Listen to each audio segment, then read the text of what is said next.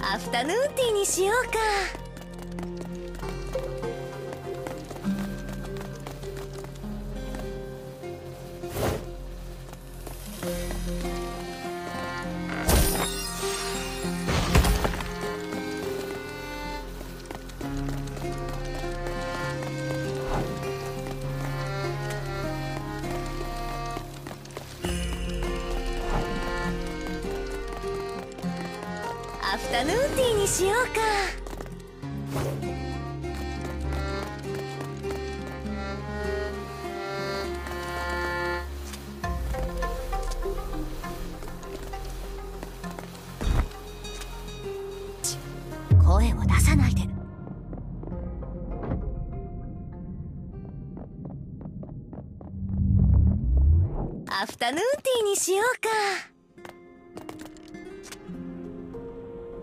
私の番ね。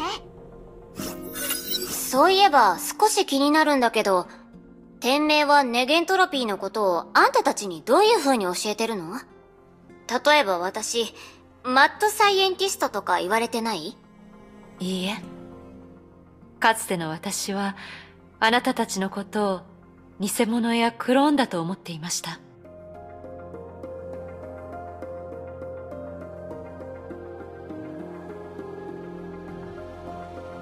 ち、徹底的に無視という策略だったのね。けどまあ理解できなくもないわ。私たちは何年も公の場に顔を出していないもの。大衆にとって老化しない人もいるということに気がつくのは、きっといい体験にはならないでしょうし。あなたたちは黒煙白化の力で偶然そういう体質になったとリタに聞きました。ええ。オーバーロード状態になった黒煙白化は、私たちの体をどの細胞も正しく分裂するぐらいまで修復したわ。黒煙白化を詳しく研究する機会は今までなかったけど、そういう現象が発生する確率は1万分の1もないと思うわ。オットー主教も黒煙白化の治癒力について実験をしたことがありますが、結果は喜ばしいものではなかったようです。ふん。あいつの話はやめましょう。気分が悪くなる。すみません。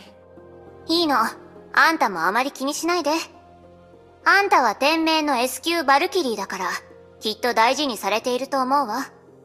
ただ、あんたが黒煙白化の今の持ち主なんだから、ちゃんと自分のことを守りなさいよ。それは、セシリアさんやリアーナさんのことですか？リアーナのことを知ってるの？多少は。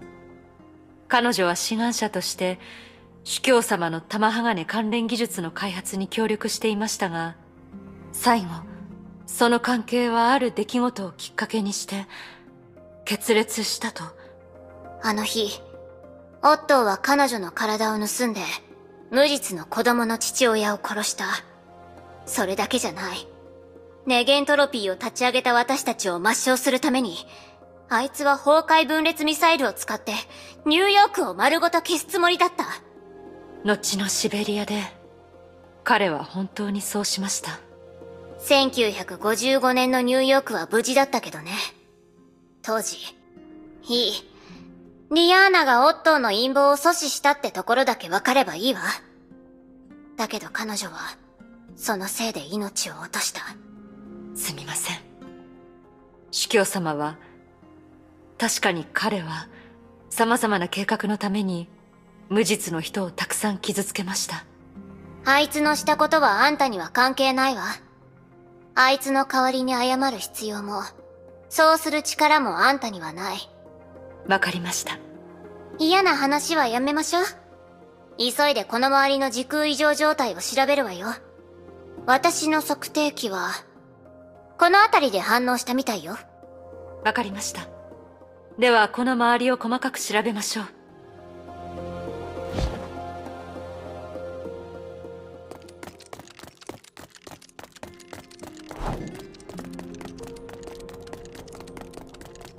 アフタヌーンティーにしようか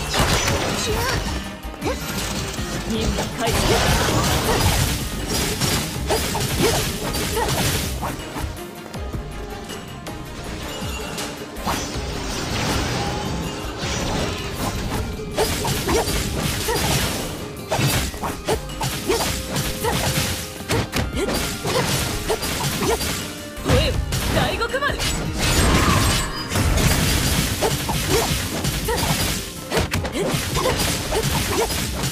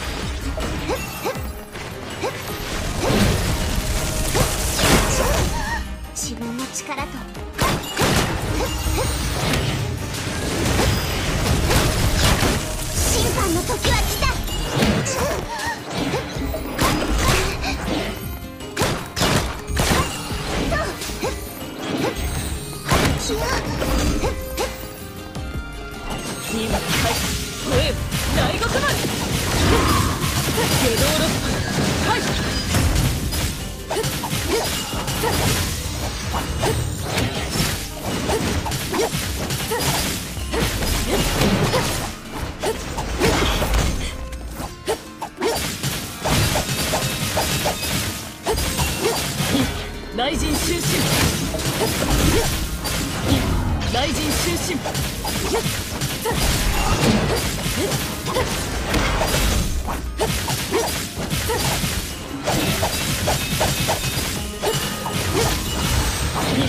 雷神終身ホエー大極丸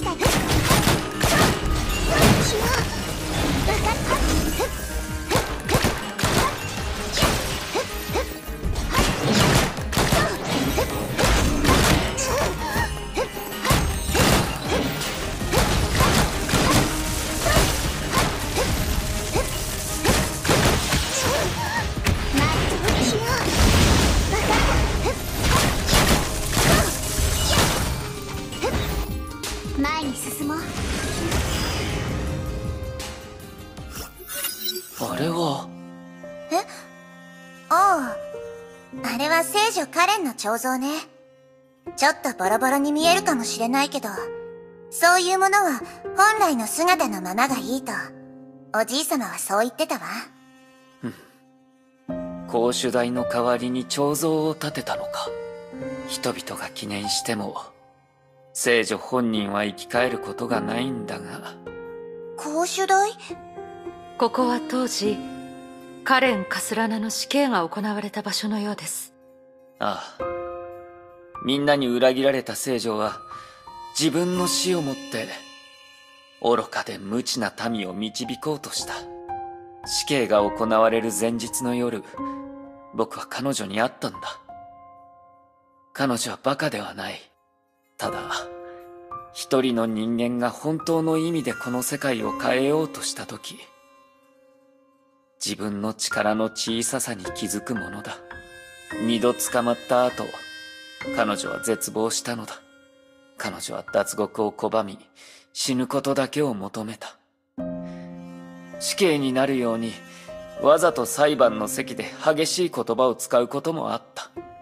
もしかしたら彼女にとって、それがこの不公平で不合理な世界に対する最後の抗いだったのかもしれない。そうかもしれないね。しかし、聖女が聖女であるのは、彼女が示していた精神力が彼女自身が想像していたものよりずっと強いからだ。おじい様？ああ、テレサ、ご苦労だったね。僕に話したいことがたくさんあるだろう。だが今は、先にするべき大事なことがある。僕はすでに99.9%の支配の律者のコアを手に入れた。残りの0.1%。パズルの最後のピースももうすぐここに現れる。さあ、みんな。この境界堂遺跡の内部で、その記念すべき瞬間を迎えようじゃないか。皆様どうぞお入りください。私は境界堂の外に残り、警備を担当します。みんなとの時間はずっと覚えてるよ。前に進もう。わかった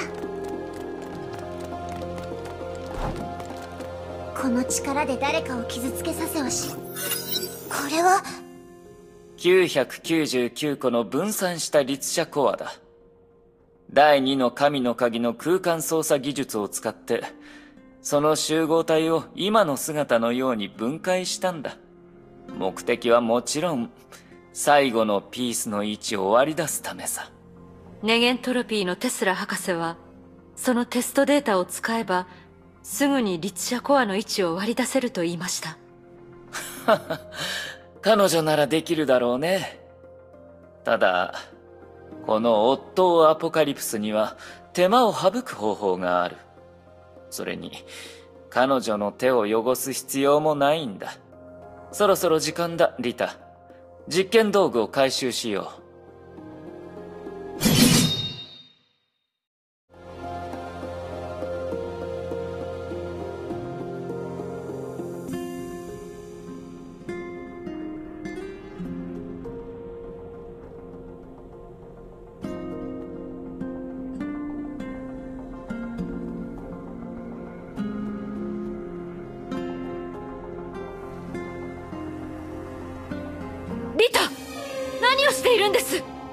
落ち着いてくださいデュランダル様。彼は大主教様のもう一つの玉鋼の体に過ぎません。その通りだ。これが僕の言った手間を省く方法さ。ごらん最後のピースを。君たちの代わりに手に入れたぞ。一体何をしたの？話せば長くなるよだからその前に手をきれいにしても構わないかい？事件の経緯を整理しよう。数ヶ月前実験体 K423 キアナ・カスラナと称された人物が支配の律者を倒し仲間を救った。支配の律者は消滅したがその律者コアは行方不明となった。幸い僕は第二の神の鍵の力を使って支配劇場の跡地に入ることに成功しそこで鍵となる手がかりを見つけた。支配の律者のコアの一部は虚数空間に隠れ新たな憑依対象を探しながらチャンスを伺っていた。その特殊な構造によってね。みんなも知っている通り支配の律者が最も興味を持っているのは絶望を抱いている。世界が失敗に終わってもいいと思っている人間だ。そして僕の完全回収計画はそこから展開した。理解できません。それが先ほどリタに殺されたあのオットーさんと何の関係があるというんですか？まあ落ち着いてくれデュランダル。僕の境遇を考えてみよう君と共に支配劇場の遺跡に入った時僕はすでに999個の分散した支配の律者コアを手にしていた。しかしよりによって最後の1個は終始次元の隙間の奥で徘徊し定めることができずにいた。だから僕は最後のコアに向けて餌を投げることにしたんだ。絶対に拒めない宿主をね。そう。それは僕自身オットー・アポカリプス本人だどうして？すでにあのオットーが君たちに教えてくれただろう？彼の聖女は彼のせいで死んだ。その後の彼は生きる屍でしかない。今の僕はもう弱くないかもしれないが、500年前のあのオットーアポカリプス。彼以上に心が闇に飲まれている人間はいないと僕は知っている。だからそれを前提にして逃れた支配の律者のコアに唯一無二の舞台を絶妙な罠を仕掛けようと決めたのさ。まず、第二の神の鍵を使い、虚数の木にある特定時空の観測結果を、僕の支配下にある支配劇場に投影する。その後、すでに入手済みの999個のコアを使い、支配劇場に転写された情報を現実の環境に移す。こうして、僕は時空の混乱を発生させずに、別の時間の情報をこちら側に持ってくることができた。あとは、500年前の本当の夫をアポカリプスを用意すれば、支配の律者の好みをもとにして作られた罠も準備万端だ。それって、私たちが目にした過去は、本当の情報のかけらだったということ？単なるレプリカってことかしら？その通りさ。敵をおびき出すための罠の副産物に過ぎない。情報の他に別のものが入ってくるはずがないよ。君たちが見たもの、収集したものは全部、僕たちの世界で新たに生成されたものさ。僕は不正をして、世界中のエネルギーを消費しても達成できない結果をシミュレートしたと考えても構わない。そして結果的に、僕は支配の律者のコアを騙すことに成功したのだ。では、倒れているあの玉鋼生命体は彼はシミュレーションプログラムに過ぎない。もちろん、シミュレートする対象は本物の完全な時空を超えた歴史情報から来ている。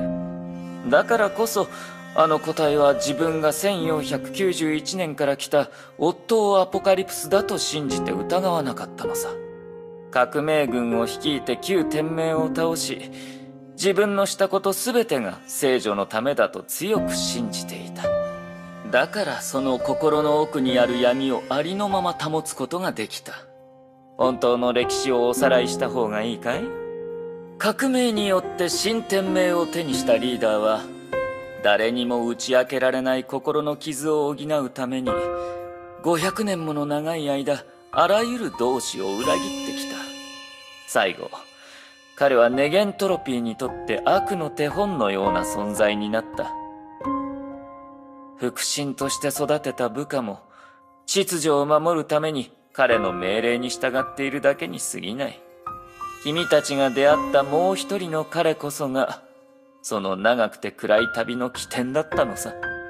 まるで魔女に出会ったマクベスのように、自分の迷いを理由に人々の運命を勝手に決めた。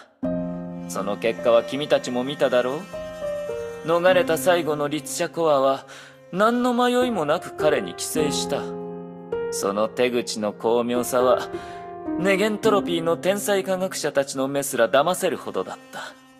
ですが結果的にあなたはそういう意識を人為的に作って自分の目的のためにそれを自分の手で殺しましたそうだねそういうことは初めてではないだろう？例えば500年前の僕はある人の命を助けたのに500年後の僕は彼女に銃を向けるそれこそがこのオットーアポカリプスのすることだ。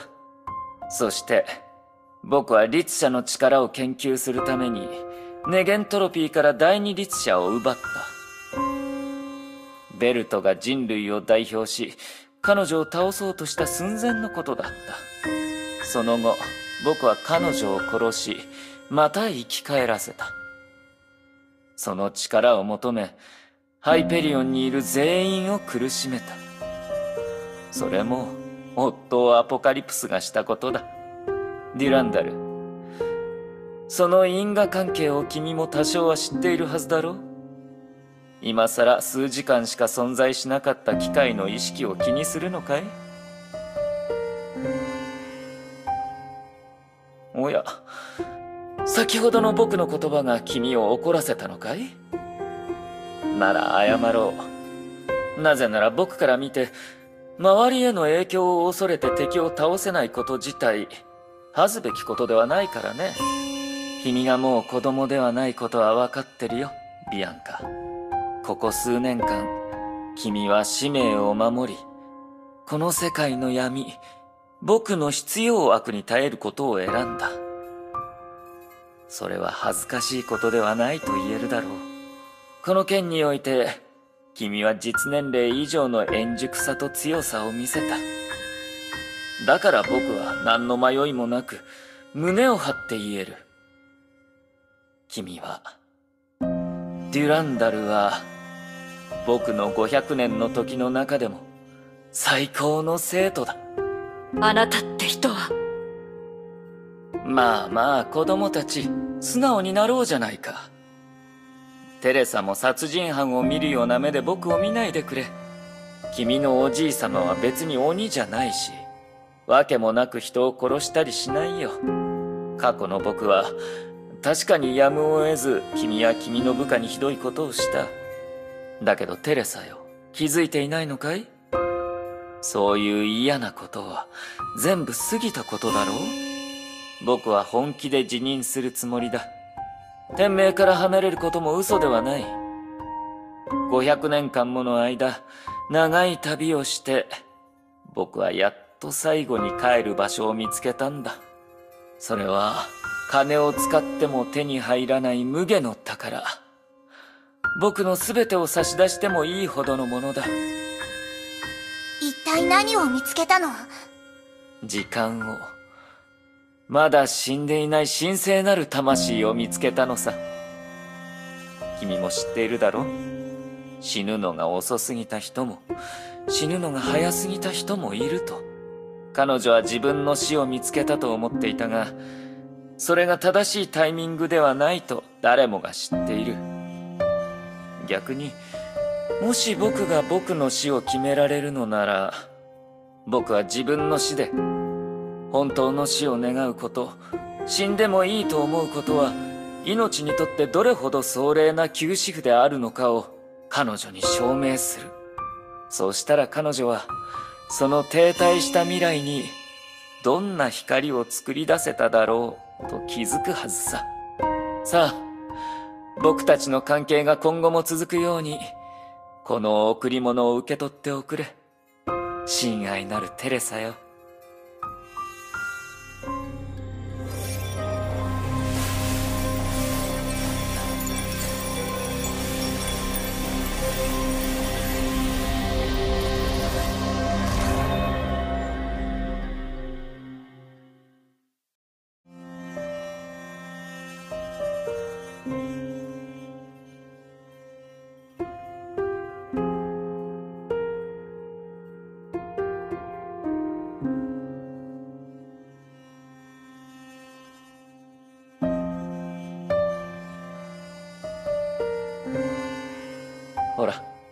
その力を使ってみるといい、テレサ。きっと素敵な武器になるだろう。ご親切にどうも。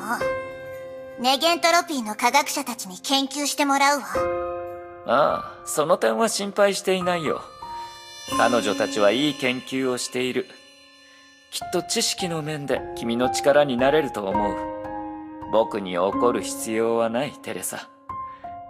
継承儀式が予定通りに行われ、君が完全な権力を持つ天命大主教になることを保証しよう。そして僕については、僕はすぐに最後の旅に出て、世界の向こう側にあの唯一の存在、誰もが知っている英雄を探しに行く。艦長カレン・カスラナ。僕が全てを差し出してもいいと思った唯一の人だ。待って！任務が終わったらまたゆっくり風景を楽しみましょう。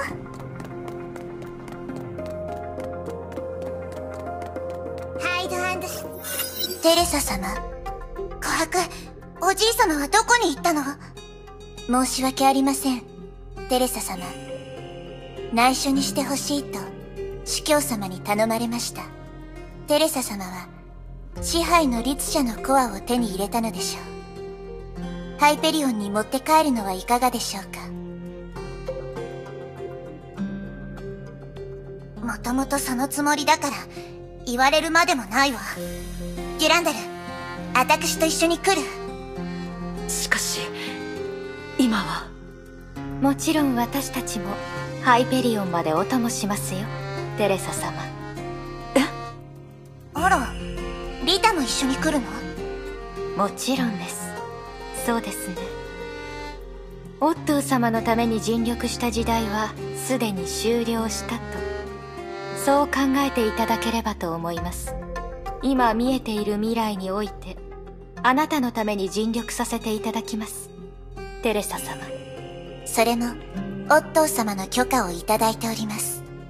しかしリタ何も言わずにヨルムンガンドの方から戻ってきてそんなことを。あ申し訳ございませんデュランダル様。秘密保持のためデュランダル様にご報告することはできませんでした。大主教様から色々と想定外のことを教えていただきました。歩きながら話しましょうか。わかった。準備できたよ